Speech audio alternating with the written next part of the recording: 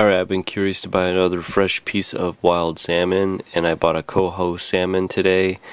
And I wanted to do a background reading with my Observer software because a commenter on my YouTube channel suggested I would be able to get a more accurate reading if I did a count. So I'm doing a 10 minute count on background and then a 10 minute count on the piece of salmon itself.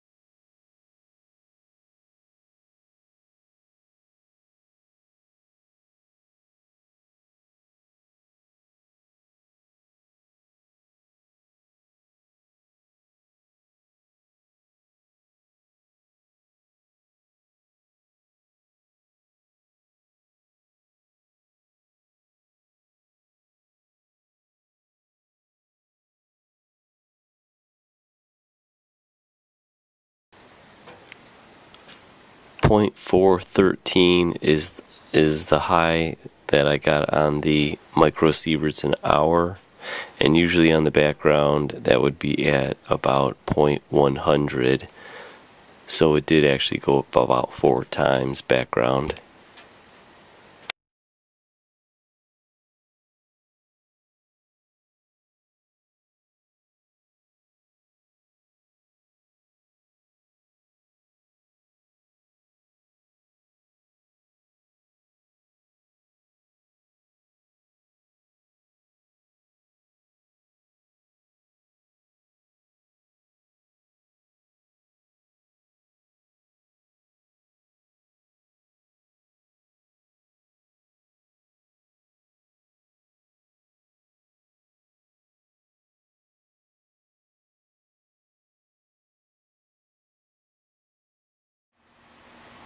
Alright, here's the 10 minute test. Background 600 seconds, that's 10 minutes.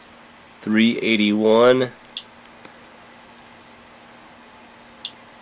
Today is the 26th.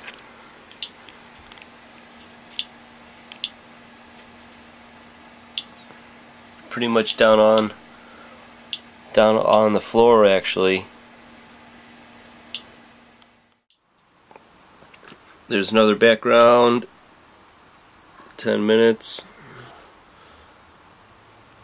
6 10 minutes, 600 seconds.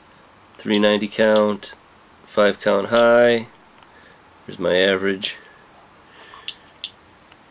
And that's what it looks like. And as you can see, everything's towards the bottom.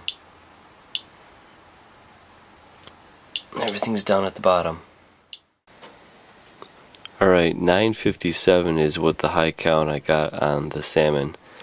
So that is at least doubled, almost triple the background on the total count.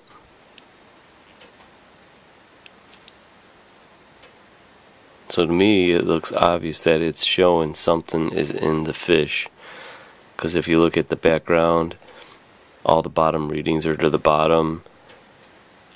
And on the salmon itself they're all averaged above the bottoms. Here are the three background reading charts. Here's the second. Here's the third. And now if you notice this is the first of the salmon. Here's the second. See how it's way busy? And there's the third. Those are the charts that I saved. So that's my conclusion is that it's picking up something. I don't know what specific isotope it is, but I believe that there is radiation in the salmon and it's spoiled.